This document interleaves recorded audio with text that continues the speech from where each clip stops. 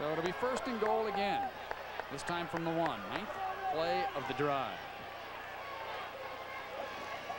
Toss it goes to Wheaton. Looking for the end zone, and he scores. The converted defensive back gets the first touchdown rushing for the Ducks this year. Did you see O'Neill move Wheaton over to his left? What he told him was, I'm going to flip you the ball, and you just go over there and score. With Kenny in there, there's a lot of sand lot football because they only have a handful of plays for him today. The and that's Wheaton one of package. The, The yeah, Wheaton the package. Wheaton package. That's right. That was Wheaton left, folks.